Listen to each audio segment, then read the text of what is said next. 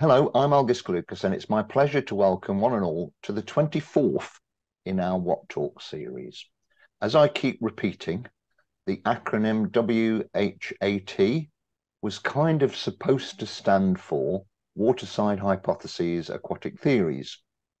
The other sense of the title is if it's posed as the question, What talks? To which the answer clearly is we humans do pretty much uniquely amongst all the animals on the planet. It's that second sense of the title that is perhaps most appropriate for today's guest speaker. David Kimbrough Oller, although he prefers to be called just Kim, has been studying the developmental origins of human speech for more than five decades.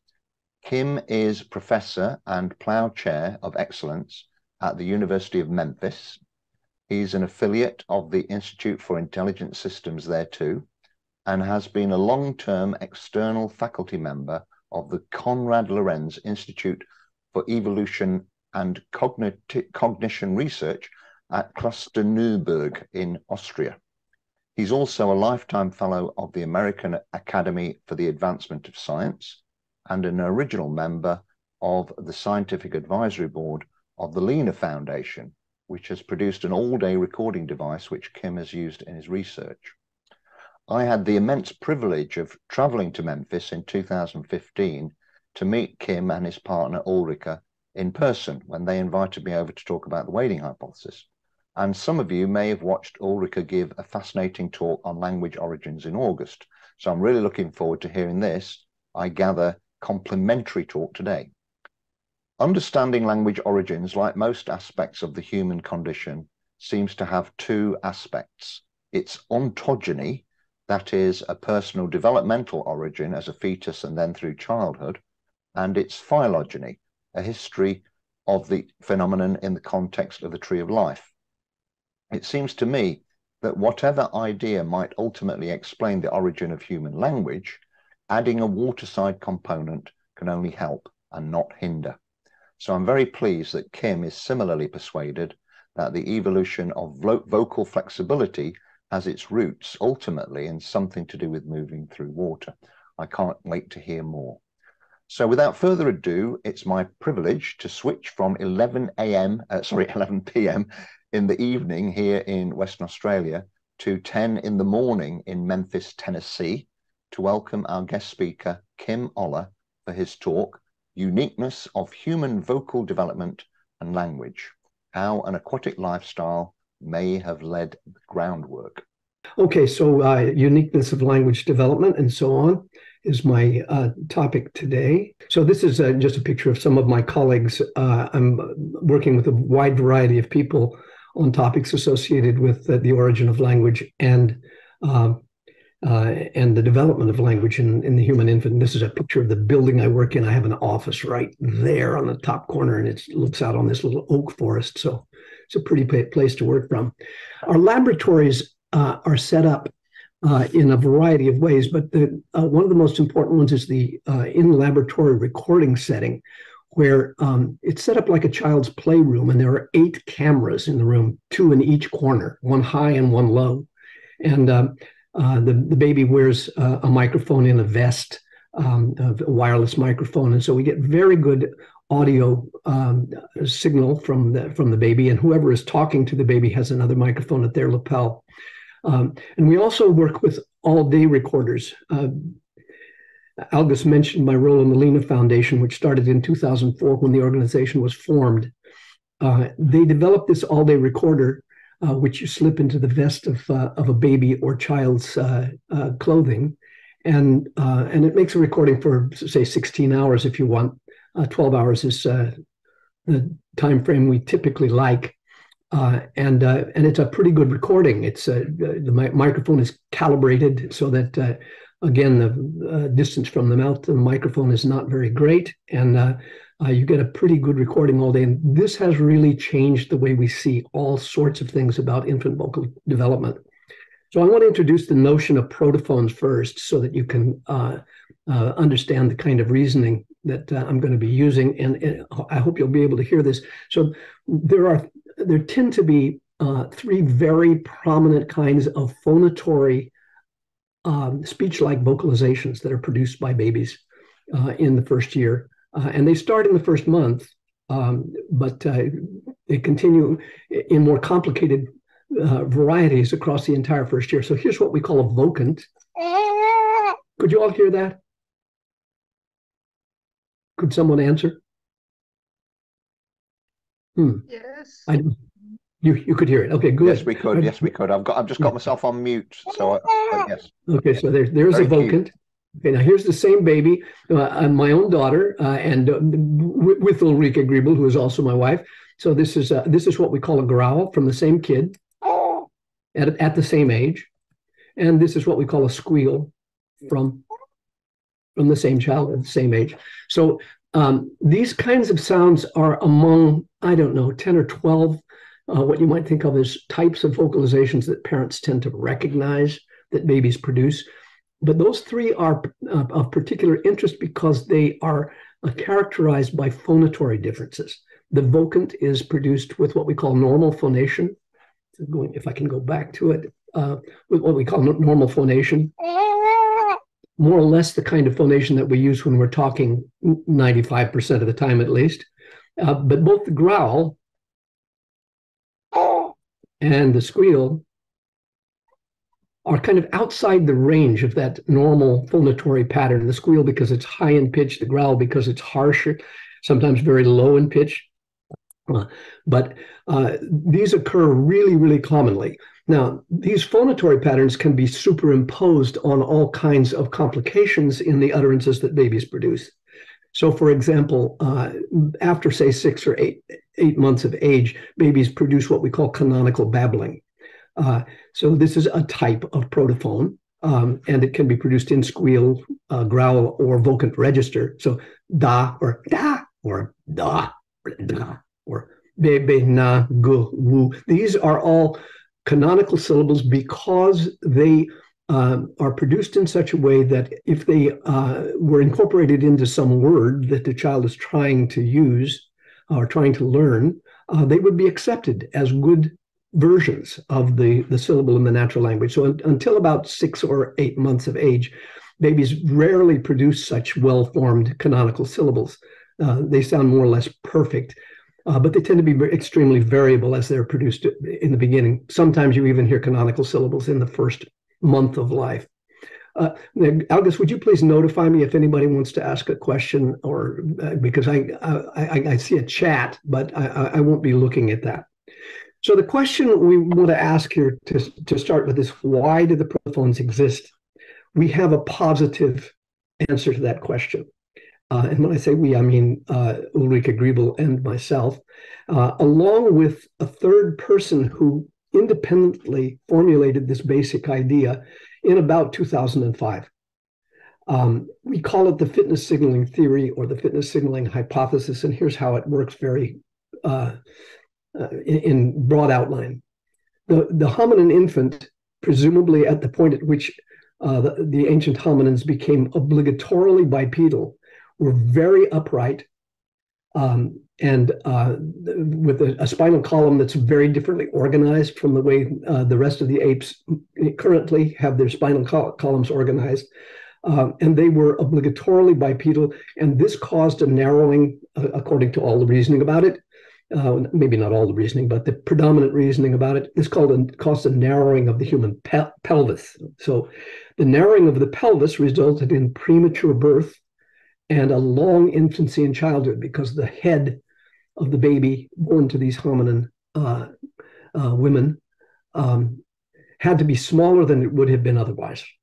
And uh, the way to make that happen is uh, presumably uh, to select on uh, slowing the pattern of development in the fetus so that the baby would be born very prematurely and then have a, a longer infancy and childhood in front of them. Okay, so uh, by comparison with whatever uh, ape competitors there may have been at the time that this was going on, um, presumably the hominin infant was born prematurely and had a long period of uh, of of necessary care from uh, from the caregivers uh, throughout that uh, that long period. It, it, ends up being in modern times that uh, until a, child is about seven years of age, a human child is about seven years of age, they are incapable of foraging for themselves. Um, uh, this is known in part by, uh, for example, street children in Brazil, who tend to be able to survive only after age seven. Um, they, they, they tend to find ways to make a living for themselves but uh, younger than that, they're unsuccessful. But in any case, uh, uh, it's a, there's a very clear difference in the um, degree of helplessness, let's call it, of the human infant and any of the uh, ape infants across the early years of life.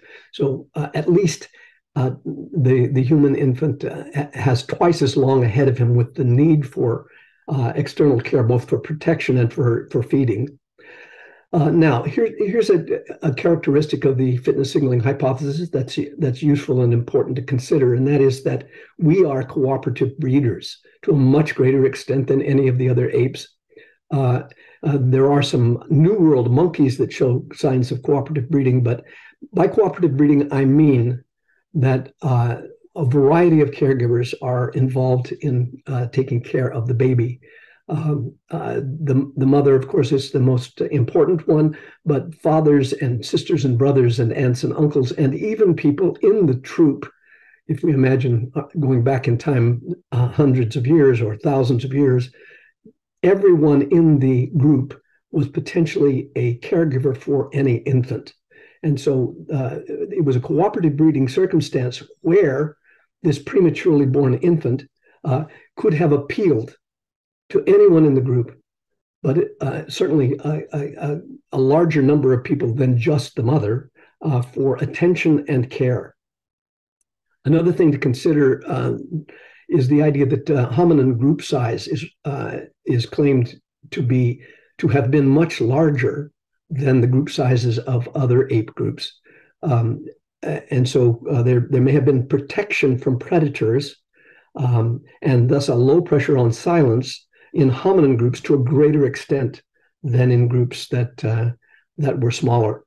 Uh, and so the balance of pressures, um, I'm not going to say talk about some other issues, but the balance of pressures seems to have favored in the hominin case, and this is our positive hypothesis. It favored vocal signals of wellness in the hominin infant, okay, more than in competing species if they vocalized in such a way as to show that they were well, to show that they were fit, they had a better chance of being uh, nurtured than the infants who didn't do that.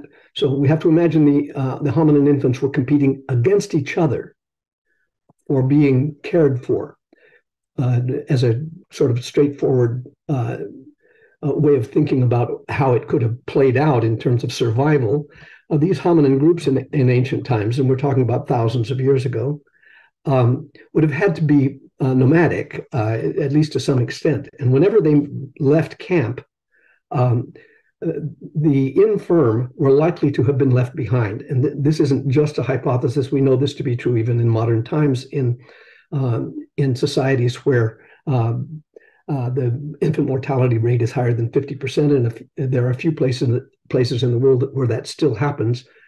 It's diminishing rapidly, but uh, but it is true that that uh, hominin groups, uh, human groups, even in modern times, make decisions about investment in their babies uh, in terms of how well they think the baby is. So our contention is that vocalization the production of these protophones became a uh, target of selection uh, because the hominin infant could thereby signal their wellness to parents. You have to imagine these sounds are produced overwhelmingly in comfort. Uh, they are not something that is elicited from parents. We're going to talk about more about uh, more about this uh, later, uh, primarily, uh, although they can be elicited. The overwhelming majority of these sounds are produced by babies endogenously, and we presume they were produced endogenously because they were naturally selected to be so, to be endogenous indicators of their wellness that would be noticed by anybody who was standing around nearby. So uh, the idea is that uh, these large hominin groups uh, with their cooperative breeding tendency uh, were circumstances where everyone was noticing, even if only semi consciously, uh, what the babies sounded like. Of course, they were noticing other fitness signals as well, uh, there or fitness indicators as well, like the color of the baby's skin or the um, you know how well they could sit up or uh, the head control. Uh, there are all sorts of uh, cues to fitness, but this was the new one for the hominin line, according to our hypothesis, uh, that the babies began to use. They were naturally selected to use vocalization, the protophones in particular, especially in comfort, as indicators of their wellness. Okay, so that, that's the positive hypothesis. Now, there are a whole bunch of reasons, of course, that this positive hypothesis uh, uh, uh, encounters difficulties with uh, uh, sort of current thinking, and we'll talk some about that as well. Oh, goodness, I can't see the top of the screen. Uh, okay, well, I think it says swimming and diving may have been important in this may have been critical in uh, our move towards obligate uh, bipedalism. And why? And the answer is that uh, in order to dive, perhaps to, in order to swim as well, but uh, you can swim with your head completely out of the water. You can't dive without uh, without putting your head into the water. And diving at all deeply uh, requires a kind of conscious and flexible control of the glottis, that is to say, the vocal folds. You have to be able to shut them down and you have to be able to hold it that way until you decide to come back up. Uh, and consequently, uh, we argue there had to have been conscious control of the glottis. Now, exactly what we mean by consciousness here is, uh, is probably not worthy of, of an argument. Uh, we just mean you had to be able to plan a dive uh, that would last for, say, two to four minutes, uh, and you had to to hold the glottis closed during that entire period. Um, you, you had to have a respiratory system that was adapted to that kind of uh, uh, of uh, underwater circumstance. And as a result of having that kind of glottal control, uh, we think that uh, neural connections from motor cortex to the laryngeal motor neurons were presumably encouraged to be uh, to be developed. All right. And there's lots of evidence in humors, humans that there are direct neural connections from motor cortex to laryngeal motor neurons. This has been going on for, I, I don't know, at least 40 years. Uh, the research of uh, Uwe Jürgens in, um, at the Max Planck Institute in, uh, I guess it was the one in Munich. Uh, yeah, the one in Munich uh, in the in earlier decades was the most famous early work on this topic, but there's much more work uh, more recently. There is little or no such evidence for connections of this sort in any other primate. Now, when I say little or no, there's a, a there, there are some signs that there may be a bit of such connection, but in humans, it is absolutely overwhelming. So, vocal learning in humans is open ended, but in other primates, it is essentially altogether absent. And when I say essentially, uh, this is one of the points where we run into um, uh, conflict with a body of literature that has been attempting to show for about 40 years uh, that uh, the difference between vocal learning in humans and in other apes is actually a kind of triviality. That in fact, vocal learning is possible for the other apes.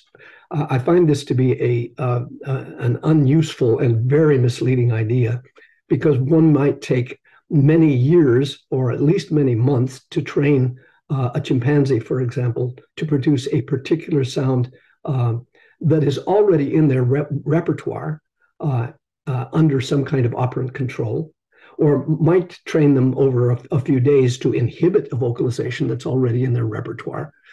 And to some extent, the, the claim exists that, uh, at least in a couple of bonobos, um, some new sounds have been introduced by operant conditioning in a particular bonobo. Um, but these are uh, amazingly uh, over uh, overplayed uh, findings uh, because any human infant at say 16 months of age can imitate a wide variety of new sounds as soon as you present them to them.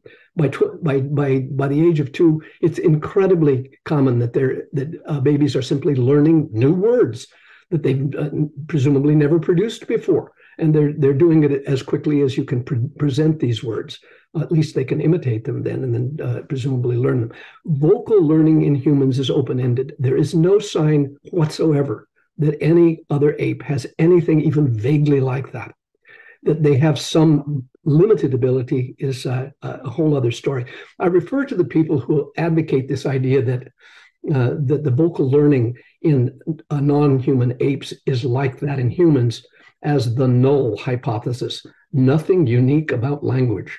Um, the uh, the idea is that it's only a quantitative difference that these people are, are trying to claim, only a quantitative difference between vocal learning in humans and in non-humans.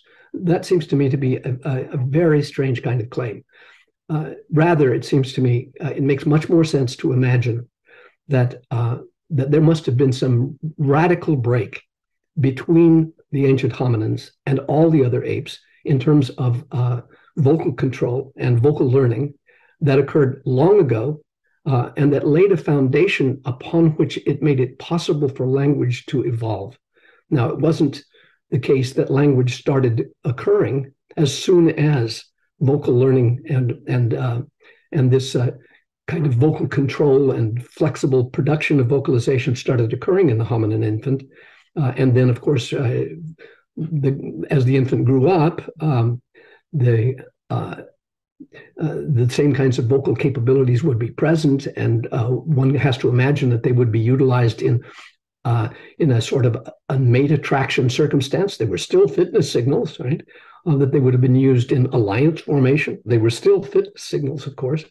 Uh, so uh, the, the, the spread of this infant capability and inclination to use vocalization would have become a, a, a broad feature of the way uh, the ancient hominins interacted with each other, and presumably, presumably uh, using the, a term that uh, my, my, wife, I, I, tend to call her Julia. So if I say Julia, you'll understand what I mean. she calls this social glue right? A, a, way of bringing the, the group together or holding it together to make it uh, more possible for them to function well. Okay, now that's an introduction to our positive idea and uh, a hint at the negative difficulty that we deal with from people who advocate the null hypothesis. I'm, uh, I, I, I, tend to make fun of it because it just doesn't make any sense to me at all that people should be thinking that way. We are dramatically different in vocal capabilities from any other primate. And uh, it, there, there's no uh, there's no good reason, it seems to me, not to assume that we have uh, that we must have evolved in such a way that a, a, rather sharp break occurred fairly early in our differentiation from the uh, from the other ape lines. So let's talk about the, what I call the surprising abundance of the protophones. Now, th- this is a, a, a graph uh, simply uh, illustrating the rate of protophone production. Okay, now, notice that a protophone is not a cry, it's not a laugh, it's not a, one of the kind of innate sounds that uh, that we share to some extent with the other uh, other primates. Uh, these protophones are unique to humans, as far as we can tell, and I'll talk a little more about that uh, uh, in a minute. But not only are they unique, they are they are incredibly copious. They are produced all the time, four to five per minute every waking hour, according to our analyses of, uh, of these uh, all day recordings, where we randomly sample five minute segments across the whole day, and we have them coded by human, uh, human listeners. And uh, from zero months to 12 months in, longitudinal, in a longitudinal study that I'm displaying here, um, the babies were producing four to five uh, uh, of these protophones per minute across the whole first year. Okay. And we even have data on babies who were born prematurely and are still in the neonatal intensive care unit. A little Lena recorder is in the uh, isolette with them uh, near their heads so that we're recording all day in those babies as well. At minus two months, that's to say 32 weeks gestational age, these babies um, uh, have just been deintubated, by which I, I mean their breathing has finally been uh, put uh, in their own hands, so to speak uh, they're finally able to breathe on their own. And so they're finally able to vocalize. They begin produce, producing these protophones immediately, as soon as they are able to breathe on their own. And uh, the rate is somewhat lower at the beginning, but by 36 weeks, the same infants, this is, uh, I think it's 20 uh, prematurely born infants that were tracked actually longitudinally uh, across those, those two months. And then uh, I think it's a dozen additional different infants born at full term were tracked across the, uh, the, the, period from zero months to 12 months. Uh, but the tendency to produce these protophones is very deep in humanity because it starts as soon as the human infant can breathe, apparently. Notice that uh, also we've we've monitored across this time period the rate of crying. Uh, this is actually what we call crying and whimpering, uh, and that rate is way lower uh, than the rate of protophone production. Most people, this is another one of the myths that we we have to cope with in presenting these data.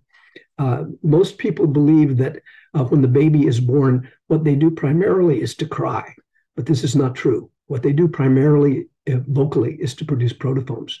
Now, the cries are salient and long, loud, so they, they, they tend to be noticed to, to a greater extent. But in terms of their simple rate of utterance production, they're actually quite low by comparison uh, with the protophones uh, by a factor of five at least. Okay, so the protophones occur extremely commonly. Now, how about social directivity or imitation of the protophones? Here we run up against another tradition, which is uh, in child development very deep. And that tradition is that the belief that the reason babies vocalize is that they are trying to imitate the vocalizations of their caregivers. And that the vocalizations occur in circumstances where the parents are eliciting them, that they are socially directed by the baby to the parent uh, because the parent is eliciting uh, that vocalization. Now, this uh, this tradition of thought, uh, I think it developed primarily just because of radical behaviorism, but it was fostered by hundreds of studies of vocal development that were entirely uh, produced in laboratories where a parent and a baby were, were put face to face and the parent was attempting to elicit vocalizations from the baby. And so the vocalizations produced by the baby were interpreted as being uh, elicited as being uh, attempts at imitation of the parent. But of course, we don't see that actually to be uh, to be true when we when we actually start making judgments. We we do in laboratory recordings, and uh, and we judge every single uh, vocalization that the baby produces in terms of whether or not it was actually directed to the parent. And we can do that with, with pretty high reliability. It's a very good agreement across coders.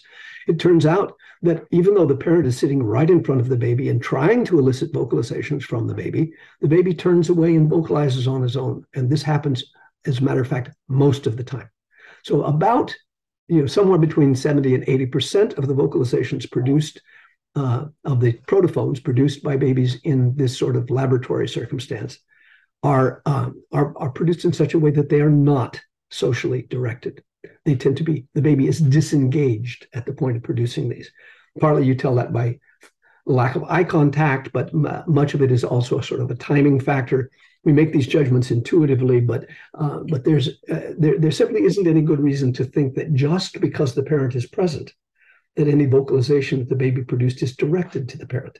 And when we make the judgments uh, in such a way that the parent herself could make, the mother could make the same judgment, and the mother and the, and the mother realizes that most of the time, even though she's trying to elicit vocalizations from the baby, the baby isn't cooperating. Uh, some of the time, of course, the baby does direct the vocalizations to the parent, and those may be very important. As a matter of fact, we're inclined to believe they're the most important cases um, in terms of being fitness signals for the parent that the you know that that she can uh, engage the baby and elicit vocalizations from them is very important. But when the vast majority of the protophones are not directed to her, we have to think about where that inclination and capability came from. Um, I, I, should say, as a conclusion, before we go on to our near near relatives, um, that uh, judging from the all day recordings, it's uh, very reasonable to conclude uh, that it's more than 90% of the protophones that are directed to nobody. They're not elicited by anybody. a, a, a, very large proportion of them can occur in babies who spend a lot of time alone uh, when the baby is entirely alone. And this is not necessarily cases, although it does occur that the baby calls to the parent trying to get their attention.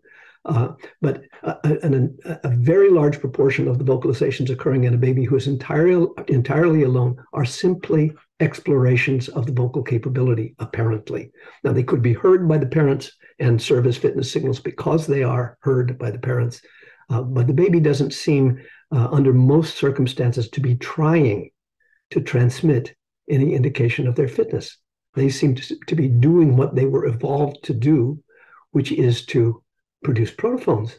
And if they do it when they're comfortable, then and anybody hears it, then that's an indication for the uh, individual hearing it that this is an infant who is who is fine at the moment, right? And so mothers sort of listen out of the corners of their ears. We think very often to their babies they can be doing something else, and the baby uh, lets them know that they're just fine by producing protophones. Now, what about our near near relatives? Uh, uh, Julia and I conducted a, a very interesting study uh, along with Joseph Call and some other colleagues um, uh, with uh, bonobo infants that we recorded with their mothers uh, in Leipzig, and that's two of those babies, and the third one was actually in Memphis. and th- this is a kind of a summary of the of the way the vocalizations played out in these uh, bonobo infants. We had 1,700 minutes of what I, what we might call observable time. Uh, the the reason that it wasn't much larger than that was that there was so much noise in these uh, in these zoo environments that much of the data uh, was sort of uncodable. Uh, uh, and we only had one camera available in any case, uh, a camera looking at the the bonobo infants and their parents uh, through the bars of a cage. Uh, and sometimes the camera uh, would not be on the uh, either the mother or the infant, uh, and it was impossible to make any judgment. So 1,700 minute, minutes of judgeable, of codable information. We broke down the the vocalizations that were produced by these bonobo infants in this circumstance into three gross categories. One of them we called laugh, uh, it's very easy to recognize laughter in bonobo and chimpanzee, uh, uh, both in infancy and uh, and in adulthood. Uh, it doesn't sound exactly like laughter in humans, of course. It sounds rather different, but it's it's quite obvious that that's what it is. Um, uh, because of the circumstances under which it occurs. Tickling produces it, for example. Rough and tumble play tends to produce it. so laughter is actually fairly common in the bonobo infants. what we called scream is also something that occurs in bonobo infants. And scream is sort of analogous to cry. It doesn't sound like human infant cry, uh, but it does sound like what we call screaming. Uh, and it tends to be rather simple. So we got some some screaming, we got some laughing, and we got some sounds that we uh, were willing to say were in some sense protophone-like. They had acoustic properties that were uh, that were a little like the three phonatory characteristics that uh, uh, that I talked about earlier. A, a, little like, mostly a little like vocants. These were the so-called who sounds. Uh, uh, but occasionally we had something that sounded a little like a squeal at low intensity, or a little like a growl at low intensity. And so we re- referred to these as protophone-like sounds. Now the blue bars in this graph make comparisons across studies that we compiled that we could compare to the rates of, of the bonobo infant productions uh, in this study uh, based on uh, the seconds per minute. So it was, you know, how much time was occupied by these kinds of vocalizations by the human infants uh, who were recorded, of course, in laboratories, or the bonobo infants uh, who were recorded in these mother-infant pairs in uh, in the zoos. Um, and the protophone rate of the hominin infants, as you see, was between four and five per minute. Uh, as uh, uh, well, this is transformed to seconds per minute, and it turns out that it's roughly the same because uh, the the duration of these vocalizations vocalizations averages about one second.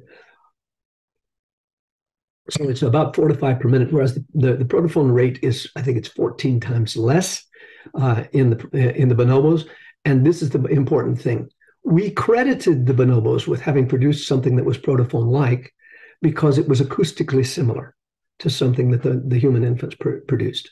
But from the standpoint of intention, from the s- standpoint of what we call illocutionary force, they were utterly different because the vast majority of the protophones produced by the human infants are directed to nobody. They're not an attempt to make something happen in the present. They are not what we think of as as co- constituting illocutionary forces, that is to say, communicative intentions in the present. They are, in fact, primarily explorations. whereas we never saw a single instance of a, of a, proto, uh, a bonobo infant producing a vocalization that appeared to be uh, exploratory. About 60% of those vocalizations could be judged to be um, ne- of negative valence. Uh, for example, one of the bonobo infants had a sister who would sometimes be in the cage as well, an older sister, and she would harass that baby, trying to get him to play with her, presumably. Uh, and the baby would go, you know, producing something that we called a who call, but it was clearly an appeal to the mother who would quickly pick the baby up and get him away from the, the harassing sister.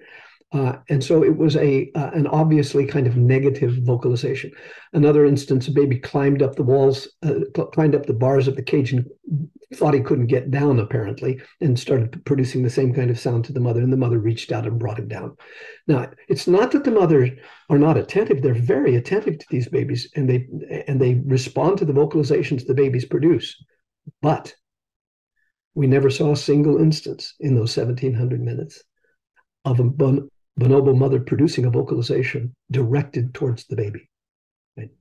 Now, in the in the human infants, in circumstances of face-to-face uh, interaction, where they're just let's just imagine the babies and the moms are in the same room, the rate of mother vocalization is actually higher directed to the baby than the rate of vocalization of the baby at all. Uh, I mean, the ba- babies produce a lot of vocalizations, but when when you put a camera on the mom and the baby, moms tend to talk to the babies a great deal, right?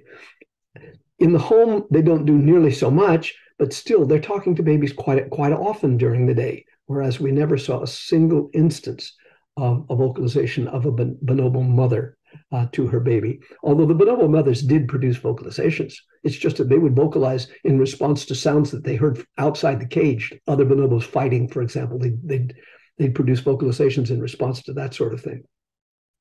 Okay, so uh, when we compare the hominin infant with uh, or the human infant with uh, with modern ape infants. Incidentally, uh, everything we can tell about chimpanzees suggests that the story is very similar. That uh, that the, there are some protophone-like sounds, but uh, there's no sign, as far as we can tell, of exploratory vocalization ever in the uh, in the bonobo infants, whereas that is the the dominant mode in the in the human infant. Okay, uh, now another comment, and then I'm going to I'm, I'm going to actually stop for uh, some potential questions, and then I can go on after that. But I want to talk about the functional flexibility of the protophones because this is uh, a characteristic that appears almost immediately as soon as they start producing protophones, which is as soon as they can breathe. Uh, and here's how it looks. Okay, so this is this is our, our daughter when she was uh, six months old, and listen to this vocalization. Okay, we call that a growl. And you notice that it wasn't seemingly directed towards the dad. Okay. The randomly selected dad there sitting in the in the room. Uh, and this is uh, within five minutes of the same. Okay. Uh, notice that this is also a growl, but notice that on the previous one, the face suggests she's unhappy. And in this one, the face is neutral. Okay. And in this one, within five minutes of the same of the same interaction, she's got a big smile on her face. Okay, now this is a characteristic we see in all the protophones, in all the babies we've ever examined in this way. Uh, each protophone is possible to produce negatively, in, in neutral affect, or in positive affect. All of them are capable of doing that. Uh, and we've we've been able to show this systematically by comparing, for example, uh, uh, the coding of human coders uh, of uh, almost 7,000 protophones that were produced in the laboratory, uh, where we had audio and video available, and where we had the, the vocalizations judged based on audio alone and independently had the facial affect coded for the time periods during which those vocalizations had occurred uh, also with video only. Okay, so uh, then we could plot um, the, the, the number of times or the proportion of times that a cry was interpreted as negative on the face, and it was well over ninety percent. Uh, uh, how often they were judged as being neutral and how, how often they, they were judged as being positive. These may have been errors of judgment of whether something should have been called a cry or not, but one way or the other, it's overwhelmingly the case that the cries are negative. As you would expect, they're innate vocalizations that are intended to transmit, that were evolved to transmit negativity, uh, distress. Laughter, uh, on the other hand, was overwhelmingly positive in its facial uh, uh, in its facial affect. And again, uh, there were a small number of cases where uh, they they were judged to be neutral or negative on the basis of uh, face alone. The squeals, the vocants, and the growls showed primarily neutral faces because they're produ- they're produced primarily in circumstances that are how shall we say um, just exploratory the baby is producing the vocalization because of the interest of the vocalization, we think, not because uh, they're trying to direct it to anybody. The positive ones, because this is in the laboratory, are pre- presumably ones that are primarily being produced toward uh, an interactor, towards a, one of the one of the adults in the room. And the negative ones, uh, no telling what they are, the fussiness, right? So these are whiny vocalizations that are produced in the growl, the vocant, or the squeal register. Now, an interesting point is we can prove using odds ratio analysis that uh, that all of the protophones were being produced by all nine of the infants who were involved in this evaluation uh, in such a way that they were significantly more likely to produce positive or negative uh, valence and and no let's put it differently with regard to cry they were significantly more likely to produce something that was positive or neutral than the cries were for all three types, right? And for laughs, they were significantly more likely to produce negative or or neutral ones than the than the than the the uh, than the laughter, the actual laughter. Uh, this is a sort of proof that the babies are statistically significantly using functional flexibility with the protophones. They don't show that flexibility with cry and laughter because those are innately evolved to show either positivity or negativity. The squeals, the vocants, and the growls are not evolved that way. They're evolved to be free vocalizations. So, what's the significance of that? Um, the significance of uh, of having the human infant from the first point at which they can breathe, producing vocalizations that can be uh, that can indicate that can transmit whatever affective state the, the, infant is in is uh, is important because what it reveals is a characteristic that language requires all the time. There is nothing about uh, a linguistic utterance or a, a, possible linguistic element that would make it a linguistic element at, at all if it were not possible for it to be produced what in whatever affective state you wish it to be in. Just think of a syllable, for example. Could it be a syllable of language if you couldn't produce it when you're angry? Or if you couldn't produce it when you're happy? Or if you couldn't produce it just for the fun of producing the sound? And the answer, of course, is of course not. It couldn't. Language requires exactly that uh, kind of flexibility of control of the, the signal system that is to be uh, is to be utilized when language itself is going to evolve. When when language develops into uh, uh words, for example, uh, you're required to be able to produce every word with any kind of affect, of course. Uh, but you wouldn't have been able to go on to producing words if you hadn't been able to vocalize freely in the first place. So uh, this is the, this is the nature of our argument. Now, what about volubility here? Oh, I want to say something about deaf infants, just to hammer home the point that these vocalizations that are produced, these protophones that are produced by uh, by the hominin infant, uh, the, human infant, uh, are endogenous. And the, when we say volubility, we mean the rate, say in utterances per minute, okay, or, or protophones per minute.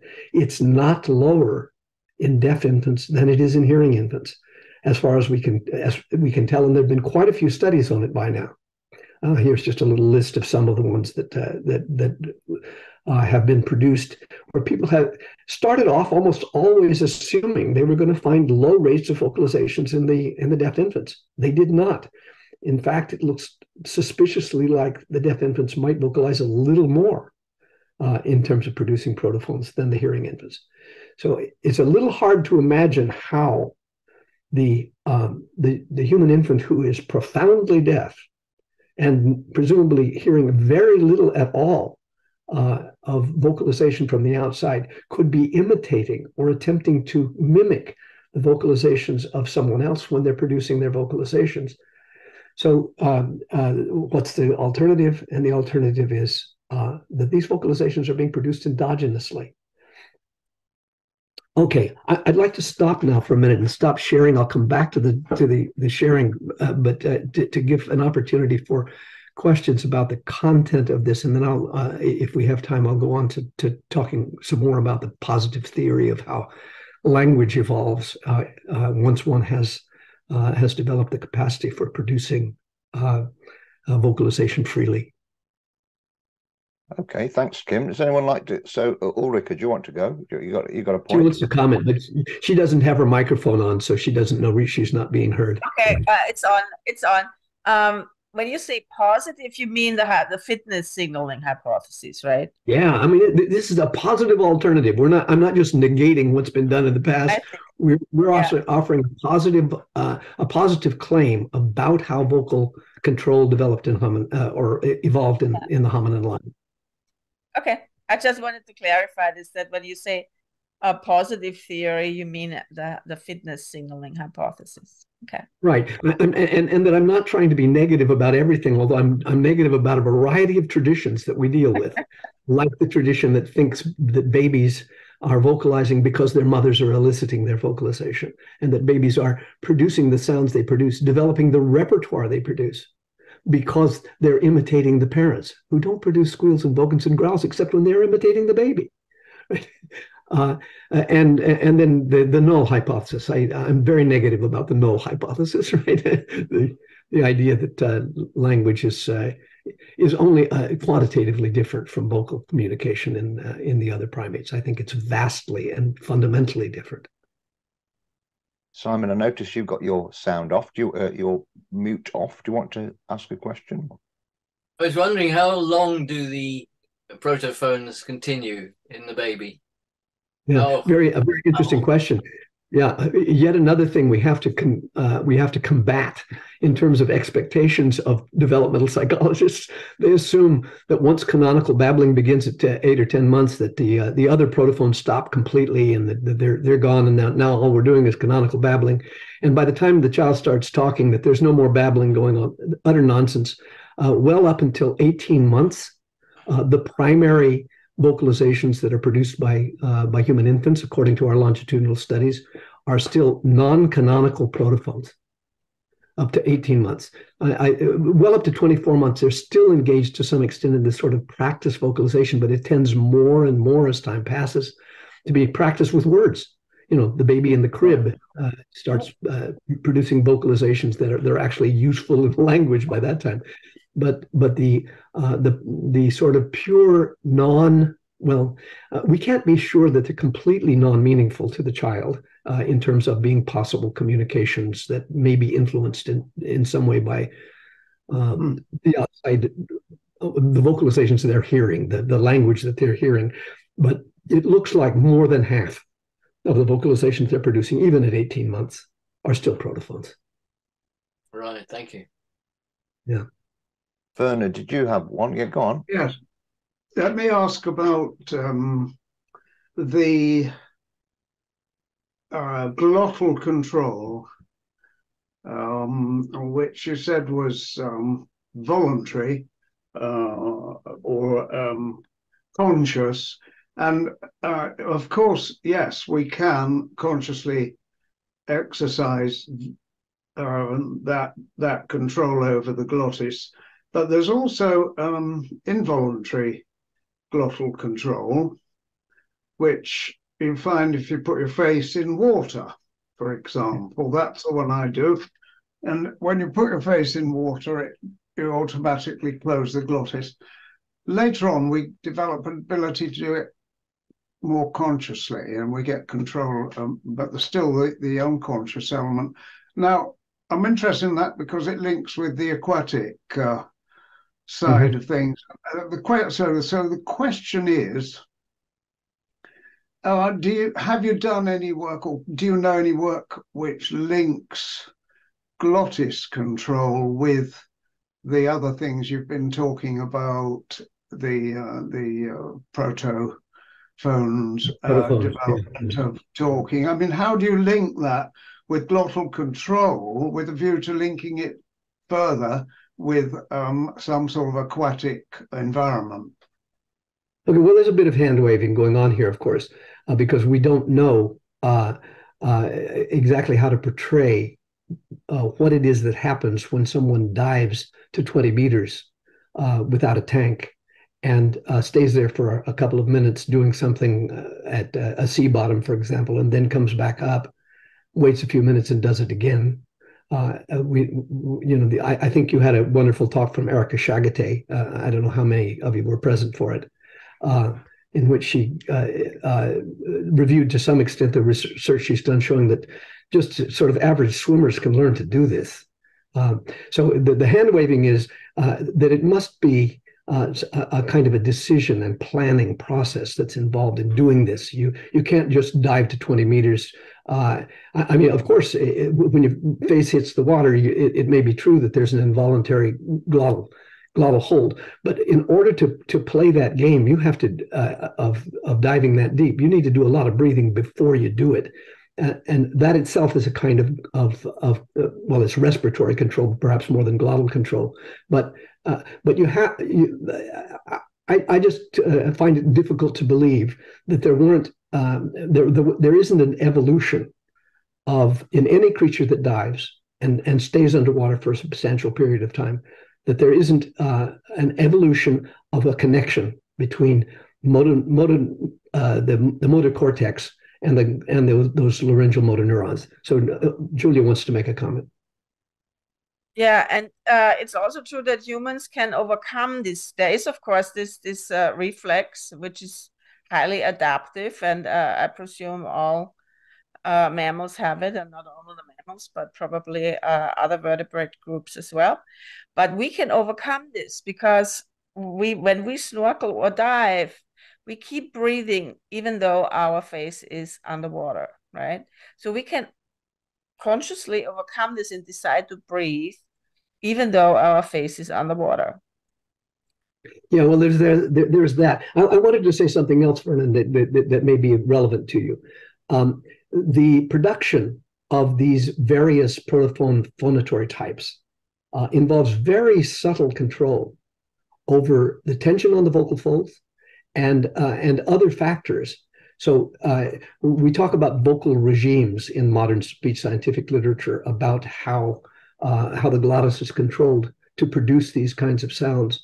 Uh, so it, it, there's a, a whole literature about this topic, and one of my primary colleagues is a is a major contributor to it. I mean, here right at the University of Memphis, Eugene Buder, um, and uh, so th- there's all sorts of reason to believe that uh, even though the connection with diving is uh, is hypothetical, uh, that it makes sense to imagine that, that hominins had to have been evolved to have very subtle control and conscious control over the, the nature of glottal uh, tension, um, uh, of uh, subglottal pressure, uh, because one cannot vocalize voluntarily without having without controlling the um, the tension on the vocal folds and at the same time the subglottal pressure below them so that they come to a certain point that, that initiates this uh, vibratory regime.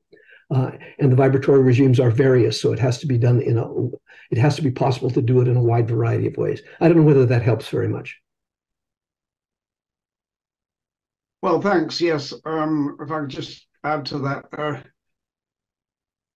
I just I haven't quite grasped how the uh, babies can go in the water. Okay, we know about babies underwater, and then they presumably are exercising some sort of involuntary glottal control, so that they don't breathe in water. So that we know that. Then, but all the things you're talking about happen outside the water, and I'm I'm not quite clear where the link is with the uh, aquatic um, waterside uh, hypothesis. because you've been So telling us what babies do outside water. Yeah, it- it's that's part of what a you want to comparative. do in the water. Yeah, Yeah, it's sorry. of comparative. The mammals that dive tend to be the mammals that have vocal control. Uh, so we have the, uh, the, the, the let me turn it over to Julia again. She talked about this before, but uh, it, it is uh, it is overwhelmingly the case that any animal that is a vocal learner and a mammal is a diver. Take it over, Julia. Yeah. Yeah, and it, it it has to do with with uh, the fact that you have to plan the dive. Yeah. I mean, uh, animals that live off the water, you know, by gathering the food in the water, just need to uh, have a conscious decision. I'm going to go down there for a certain amount of time, holding my breath, and then come up again. Yeah. And this, I think, has to require conscious control. Yeah. It's not So like it's- it's- being, falling into the water by accident and you uh, immediately uh, hold your breath uh, reflexively and then trying to get out of it. But it's a conscious decision to go in, stay, and come back. Yeah. Yeah, I mean there are possible experiments about this, but I, uh, I for example, uh, if we could have, if we could conduct experiments with a variety of uh, of, of mammals, especially other apes, uh, where we would ask them to blow into a uh, into something like a straw, you know, to control the pressure uh, uh, and and to inhale through the straw, we could we, we could perhaps set up experiments where we could actually test the degree to which there But that's was a very different matter. operant. Blowing, I'm sorry. blowing it. Yeah, blowing is a Right, very okay, but uh, something like that. We should be able to set up experiments that would test the extent to which individuals can, under operant control, do things that control the closure and opening of the glottis. That should be possible. I, I don't know of anyone who's really tried to do it yet, but it should be possible. uh, if nobody else wants to say something, I, I would like to say something to this. Uh, yeah, blowing is um, a different matter, right? Uh, a lot of animals can learn that. Um, there is even uh, uh, experiment with uh, Koko, I believe, who uh, learned to blow into a flute. Uh, Uh-huh. so uh, they can control the outflow. Yeah. But holding your breath for diving is a different matter. Okay. That's but I think that's they're related. Um, let, let me say, Uh, I think that yeah. I, I don't think that, that all that happened when the ancient hominins became capable of much more, uh, much greater vocal flexibility was that they got control over opening and closing of the glottis or the tension on the folds. They had to also uh, gain a, a supreme control over respiration, so that you know when we talk, we sometimes hold. Um, I mean, we take in a breath and we will exhale and talk on that exhala- exhalation, and in some cases for as long as a minute. Right? I mean, I can't do it anymore, but that, that's because of my age, right? I could have done it when I was a younger man, right? Uh, other animals don't do that. They don't. They don't control their respiration in such a way that it would make it possible for them to engage in speech. Speech requires this kind of uh, of control. Algis, yeah. Yeah, I've- got just a quick point about the this business of diving versus swimming. And I mean, I always like to make this point. Uh, To me, as somebody you know who likes to go swimming, uh, to me, swimming is uh, a perfect precursor precursor to speech because uh, you you you need to take a quick, rapid, um, quite long, uh, um, well, not not long, a short uh, intake of breath, and then when your lungs are filled, you you you can breathe it out as slowly as you like, and that seems to be that seems to mirror what speech really is. I mean, as I'm talking now, I'm Yeah. exhaling very very carefully without being fully in control of it, and without really realizing it. Every now and again, I'll take another sharp sharp intake of breath, which seems to be very similar to speech. So I just want to make that point. But the other point I really, the most important point I wanted to make was what about the descended larynx? I mean, in 2013, in the London symposium on on this aquatic thing that uh, dear Peter Rhys Evans organised, there was a great speech uh, given by Jeffrey Laitman, who's uh, hmm. a bit, uh, you know, probably the know. expert on the larynx, and he made this fantastic point. I can almost remember it word for word. I can't do his accent, unfortunately, because he's got this fantastic New York accent. You just imagine Woody Allen saying this, right? So, for the first time in evolution, the airway and the foodway must always, always, always pass in the supralaryngeal space. Now, we all know that babies, when we were all babies, we could uh, suckle the mother's breast and breathe through the nose at the same time. And I can see with my with my granddaughter now that happens. She's not constantly gasping for air; she's breathing and suckling all the time.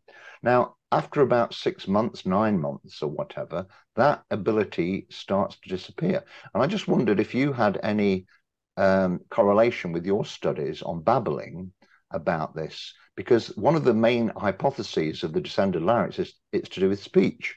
But clearly, if ba- babies are babbling from the very first few months, it's got nothing to do with speech. Well, I, um, I, wouldn't say it's got nothing to do with speech. It forms a foundation without which speech would never happen. No, but I, mean the fact that the, the larynx has descended. I mean uh, the fact that babies can babble uh, and do this flexible, voluntary uh, vocalizations long mm-hmm. before the larynx has descended. Surely that disproves the hypothesis that the descended larynx is about speech. Oh, I see what you're saying. I see what you're saying. Well, I would agree with that. Uh, I've never been a fan of that. I mean, I talked with Jeffrey Laitman uh, many years ago about uh, his work on that topic. And incidentally, it's a, it's a very gradual descent. It's not something that happens suddenly in the middle oh, of the no. first year. It's a gradual descent that continues through adolescence. Right. Um, so, uh, uh, you know, it would be a really, really bad evolutionary idea for uh, for for the, the human infant to actually be in danger of uh, respiratory failure of some sort because of this uh, engagement of the, the, the epiglottis with the uh, with the upper airway. Um, and uh, any kind of possible confusion with the larynx that would be a really bad idea. There is the hypothesis out there that sudden death sudden infant death syndrome is associated in some way with this descent of the larynx idea but it has never been uh, tracked down in such a way that it makes much sense in my opinion uh, I've, I've, tracked that. I mean, I followed that literature to some extent, and I don't think it. it I, I, like your reasoning much better. All right, are, are you back with my naturally logical yes. requirements? Yes. Okay. All right. So, uh, very quickly, uh, I, I, just want to make uh, make it obvious that we don't believe that when uh, vocal flexibility and um, endogenous vocalization uh, emerged, and we think it had to be the first step in emergence of a difference between uh, the hominid line and the other ape lines. We don't believe that that constituted language by any stretch of the imagination. We have a positive proposal with regard to this idea as well. Let's see if I can make this go forward. Damn. It, it seems to be just when you first start the uh, uh, there we go. Okay, imagine uh, a, a, tree. Okay, uh, of uh, vocal development or evolution. And imagine that the tree has uh, uh, two main branches. One of them we're going to call the infraphonological domain, and the other is going to be called the infrasemiotic domain.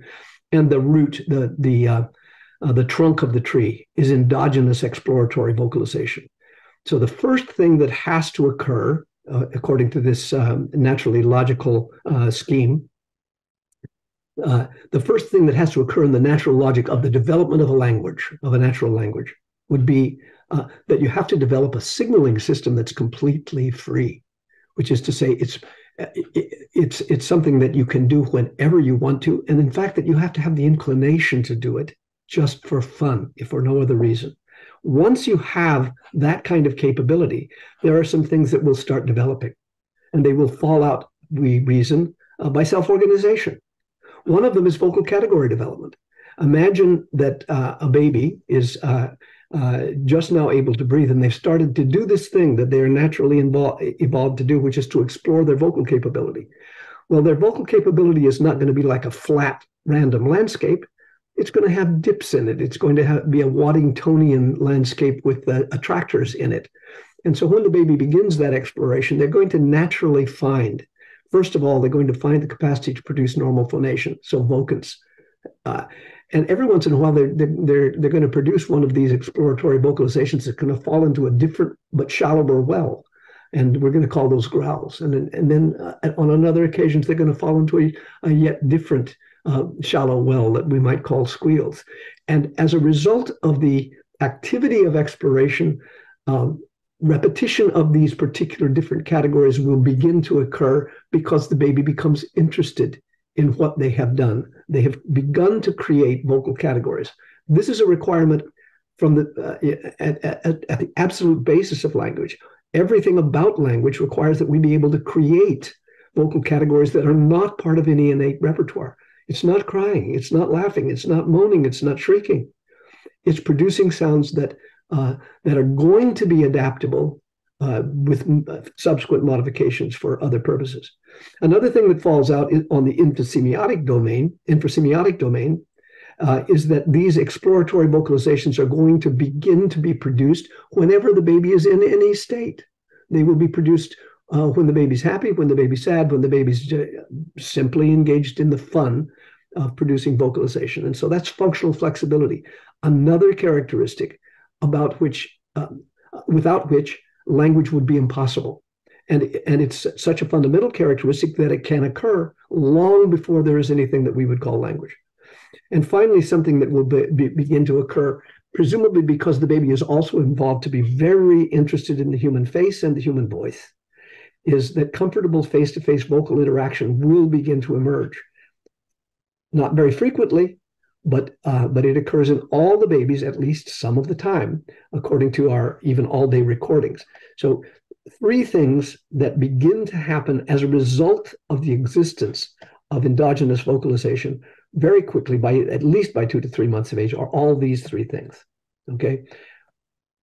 Oops. Oh, let's see. I think I went the wrong direction. I did. Okay. Then uh, shortly thereafter, uh, uh, on the left-hand side with the infraphonological do- domain, we get what I call adaptable syllabicity, which is to say canonical babbling. All right. So uh, the vocal category development becomes much more uh, elaborate, and uh, for reasons that I won't go and uh, try to explain, at least my reasoning about it, they become much more adaptable to the possibility of having sequences, rapid sequences of syllables that could differentiate can be differentiated among themselves lays a foundation for an unlimited sized vocabulary okay? But this happens long before there is any vocabulary. So by seven months typically the human infant is doing that and virtually nobody is producing any words at that point. Another thing that happens on the infrasemiotic uh, side is that this sort of uh, interactivity that, that, that, that is possible because the baby is producing vocalizations commonly and because they're looking at the face becomes a sort of systematic interactivity. At the beginning, the kind of, um, of face-to-face interaction that occurs seems to be dominated by the mother's elicitation. The baby seems to resonate to the mother's elicitation, but doesn't show the show signs of actually engaging in um, flexible directivity. So, for example, by five months, when there is fle- flexible directivity, if the mother withdraws from such an interaction and goes into what we call still face, the baby's vocalization rate will double. Okay, that doesn't happen at three months because at three months the baby is still not, uh, in according to our reasoning, to, to, nearly the same extent involved in uh, in active uh, engagement with the parent. The baby is more responsive uh, in in the earlier phase, but has become much more uh, active and flexibly directive by by that time. God, I pushed the wrong button again. Oh, jeez. Okay, uh, at a subsequent stage, things become much more uh, uh, elaborate on the infrasemiotic side, and we start seeing what I call flexible triadic illocution, flexible uh, imitation, uh, conventionality, and arbitrarity. Imitation does not occur back here at these times, not in the normal sense of the term, because what the baby does that, that, that may look like imitation is really the parent eliciting vocalizations that are already in the baby's repertoire.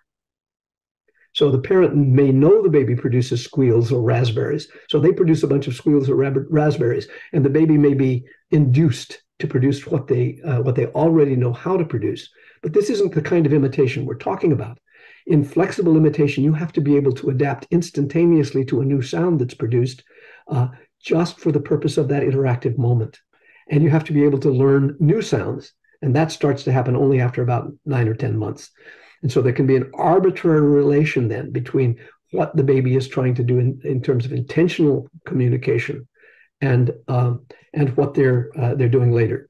Now, let me say this about what, what we've seen so far in this in this uh, tree diagram of the natural logic of communicative development. Uh, what we've seen is completely non-speech vocalization, and we've seen completely non-speech interactivity. It's not speech yet it's although it's it, it can begin right here okay? Uh, the, the triadic illocution incidentally is uh, is vocalization along with joint attention so pointing at something and vocalizing in order to help that happen. All of these things happen in this order in every infant we've ever evaluated longitudinally and it's it's by now hundreds of infants. And only after these things have happened doggone it here we go only after these things have, have happened, language starts to occur. And all the things that are up here depend on all of these. We've never seen a child um, examined longitudinally who didn't go through all these stages first. So I, I, guess the question, maybe I'll stop sharing so we can see faces again. Uh, uh, the, the, the, the point is simply that um, there is a lot to be done yet after vocal flexibility is established in order for language to come online. And of course, uh, in the evolution of this process, uh, there had to be languages developed that the child could learn, right? So there, there had to be some kind of a ratcheting process of increasing complexity of what was being done um, in communication uh, and increasing capability and inclination on the part of the uh, of the developer uh, of these ca- capabilities that we see emerging always as far as we can tell, in this order. Um, so th- th- this is yet again a um, a place where I run into uh, uh, I, I, have to engage in a kind of negativity because uh, modern linguistics is not a world where this sort of natural logic is even acknowledged, even though it is known by many people who do developmental uh, linguistics that these sorts of steps are constantly involved. There's a tremendous tendency to think that syntax is somehow deeply embedded in the human innate capacity. The way we view it, um, syntax, which is up at the top of the tree there, I mean, are various kinds of syntactic phenomena that start developing. Syntax is something that could not even begin to develop until massive control over uh, vocal uh, vocalization had occurred. Vocal category development was online. Interactivity had been developed to a point where the baby was uh, extremely interested in what other people are saying and doing. So anyway, um, the, the, the purpose of this last segment is to uh, is to let you know that uh, it's not we're not proposing with the fitness signaling hypothesis that language got established with that and that alone. There had to be a whole series of additional steps. Okay, well that's that's that's great, Kim. So I mean, I I, I just want to, I'm just a bit conscious of the time. We usually try and wrap it up after an hour and a half. Uh, so, uh, mm-hmm. is there any concluding comments you want to make, and then maybe we could just pass over for final thoughts and questions for anyone? Well, I, I guess I would like to make the concluding comment that uh, I found the uh, the aquatic ape theory the aquatic ape hypothesis to be unimaginably attractive as soon as I heard about it. Um, and the reason for that really is because of the uh, sort of organizational capability of this idea to account for a wide variety of characteristics of humanity that d- differentiate us so much from other creatures. But uh, for my own part, the part that was uh, the most exciting was that it offered uh, at least a, a line of reasoning that's possible uh, with regard to why we are so vocally different from uh, from the other primates. Right, I, I agree. That's definitely a key point for me. So let, let, let me open it up. Who, who who would like to ask a question or make a point? And um, so uh, Simon and then Humphrey, please. I, I'd like to return to the descended larynx because my understanding of the descended larynx is that um, all primates and babies, but not adults, um, breathe through their mouth, I mean, breathe through their nose and eat through their mouth. The tubes are separate. But a descended larynx makes possible for you, possible for you to breathe through your mouth and take these sharp intakes of breath. And what that the selective advantage of that would be enormous. If you're a swimmer, you appreciate how important it is that you can come up from a dive or from swimming, breaststroke, for example. You come up and you take a quick breath through your mouth, like that. And that a gasp of breath, that gasping reflex almost, um, is necessary for diving and swimming, but it's also clearly necessary for fine breath control needed to produce words and to and protophones. So I think there might be a, a natural link there, which is relatively easy to understand and to explain. Hmm. Because mm. imagine being a, having to swim with only breathing through your nose. Yeah, it's not good. I thought about that. It, a lot of horrible. marine mammals do, though. So I beg your pardon? There you go. A lot of marine mammals do breathe through their nose and not through their mouth. So it isn't absolutely necessary, apparently, but uh, but but doesn't doesn't he potentially have a point here that it, that it would add something to the flexibility of uh, of the respiratory? During ontogeny and, and phylogeny, the, the the effect is the same. You you gradually increase your control over rapid intake of breath. Uh-huh. along the lines that Algis was saying. Yeah. Is it any proof, Simon, that that uh, that other primates are not able to breathe through their mouths? I mean, I think they can. If you close your noses off, I think they don't they don't suffocate. Uh, so, isn't that true? Gone, Bernard. You're don't have it on, Yeah. Is it? If I could just comment on Jim's, they certainly breathe through the mouth. They breathe through the mouth enormously when they do their vocalizations. In fact, it's all done through the mouth. Oh, oh, oh, oh, oh, oh, oh. It's all mouth work. Yeah. They have to make a special movement to get that connection. The descended larynx is automatically yeah, well, I, I, I, like Simon's idea because it, it, it suggests that there could be some utility, uh, uh perhaps a secondary one, but a, a, an important utility to the descended larynx. I'd never thought of that before. That's all I wanted to say. Humphrey, you you had your hand up before. Do you want to go? Yeah, I was wondering with all the um, studies on the and all the infants you you you, you studied were there any differences in where the parents had a different uh, mother tongue originally, where you know maybe Chinese or whatever? I don't know what. Um, yeah. Or is that whether where, where, could you see any difference? Is there any difference there, or not? The protophones are all the same. Not not in the first nine months, none at all. Uh, uh, beyond beyond nine months, uh, babies are starting, at least some of them, to actually learn real words. Okay, and so the uh, the what we might think of as or what, might look like canonical babbling in a nine or ten month old infant on occasion is apparently an attempt to produce a word that's in the natural language that the child is learning. Now, in those circumstances, they don't introduce trills or uh, retroflex consonants, or uh, they don't do anything fancy. Uh, they're producing still a very small repertoire of universal syllables that occur in all natural languages, but some very small differences can occur.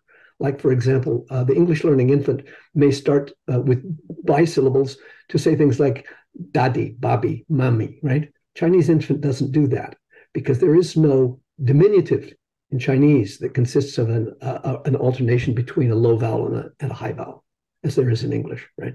The Chinese, uh, uh, the Korean infant uh, tends to uh, produce uh, a VCV sequence, Abba, Amma, because they happen to be the words for mother and father in Korean, right? But it's the it sticks out as the only thing that's different between the Korean baby's apparent babbling at say nine or ten months and the babbling of a of an, an American infant. So I, I think as soon as the lexicon starts getting established, you could start seeing some subtle differences. there's a wide variety of literature that tries to claim that the babbling itself is is being influenced by the ambient language, but the uh, methodologies that were used in the studies that have been reported on that topic have been, uh, uh, in in my opinion, not uh, not sufficient to uh, to justify any of the conclusions of that sort. When people have used more careful methodologies, they come up with nothing in the way of differences across languages across the first nine months in the in the in this protophone repertoire. That's a great question. I was thinking the same thing, Humphrey. Malgorzata, you haven't said anything yet. Would you like to test your microphone and and, and see if you can get your sound going? No, I, I hope it's going. Can you hear me? It is. It no, yes, no, I'm yes. really impressed, and I, I actually I wanted almost to say the same about the uh, the larynx. Um, uh, as Simon said, uh, my understanding of, of this, and I thought I read it either somewhere in Reda et al. or maybe in the book of the 2012 that you know like the important thing there is that it makes the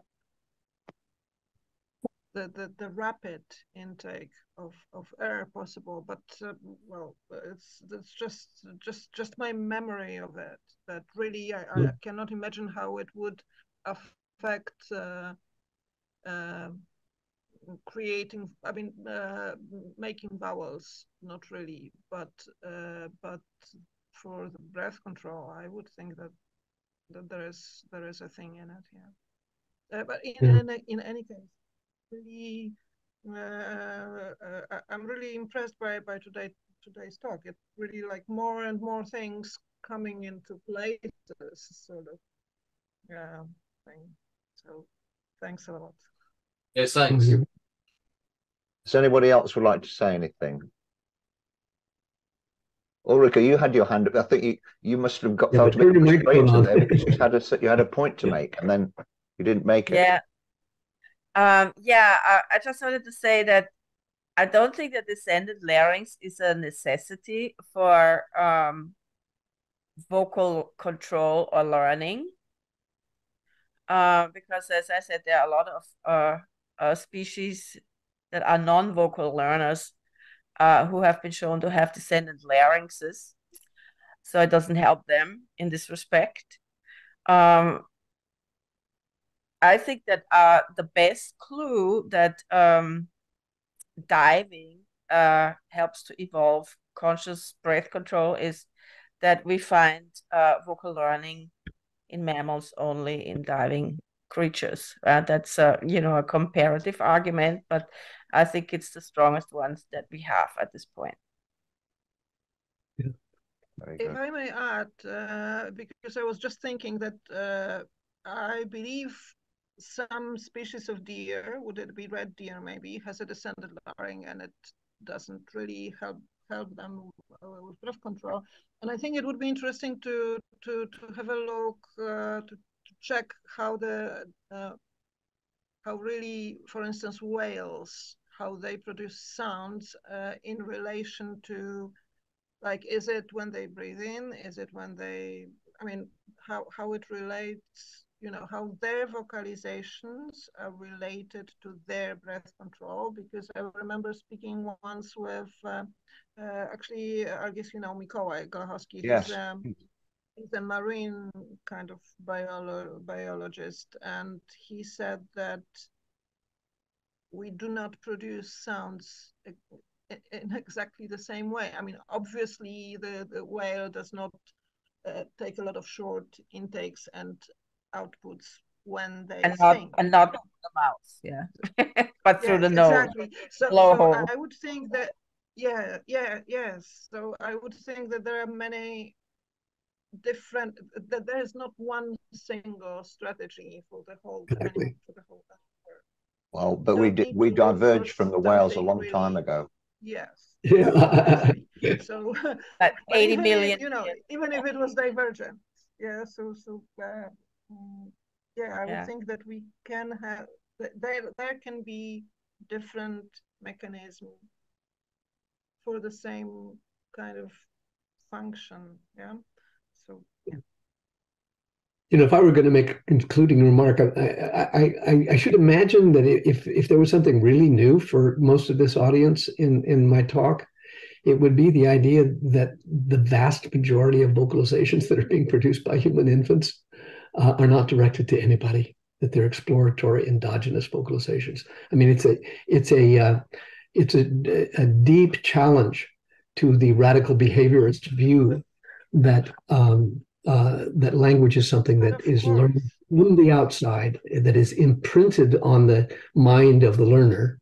Uh, but uh, but the, the the data seem, seem to suggest instead that it that language is something that is built by the infant. I didn't say anything at all about Jaak Panksepp, um, uh, but I, I think that the, the the notion of the the seeking system in uh, Panksepp's theory of uh, affective uh, neuroscience uh, offers a really um, substantive way to imagine uh, that this evolutionary process could have occurred. Uh, if you haven't heard of the seeking system, uh, it's really worth reading about. P A N K S E P P is Panksepp's last name, and he is the father of affective neuroscience. Massive book on this topic.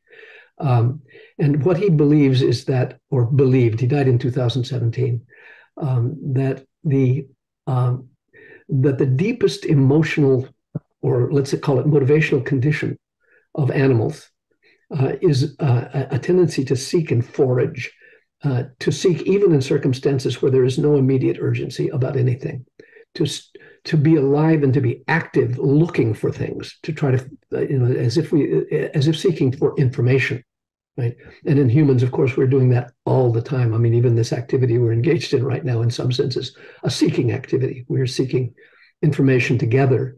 Um, but anyway, the point is that primates engage in seeking all the time, even in infancy, if we're talking about objects that they can pick up in their hands. They turn them around, they bite on them, they, they shake them to see what they sound like. They do all the things that are exploratory with regard to, to objects that they can touch, right? But they don't explore vocalization. So, what we think, uh, in some sense, happened neurologically uh, in the evolution of this capacity and inclination to produce vocalization so freely was that the seeking system came to be connected for the for the hominins only among the among the apes for the hominins only the seeking system came to be connected with the vocal system so that the vocalizations themselves could be treated as auditory objects of exploration in the same way that things that you could pick up would be treated that way. Seems like a, an important prerequisite to symbolic language, the very fact that these phonemes are just so interchangeable and have no intrinsic value of themselves, just like just tokens. Exactly. And it starts from the first day of life because the, the squeals and the vocals and the growls are just like that. They can be produced, produced in any affective condition. Okay, well, I'm I'm I'm I'm uh, I'm, I'm personally getting a bit very tired, so I, I, I we have like 90 minutes, so I think we should call it a day. But it's already tomorrow where you are. right. Yeah, we're now on the 9th of October. So, look, thank you very much. It was a fantastic talk. Lots of brilliant stuff. Lots of great things to think about. Thank you, and uh, thanks to everyone for turning up. Thank you for all your. It great was really fun.